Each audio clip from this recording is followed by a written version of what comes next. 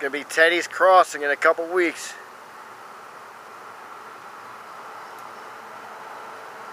It's Morrisville, PA. I'm standing in. That's Trenton, New Jersey, on the other side of the Delaware River there. Nice here. And my resting stops on a bike ride.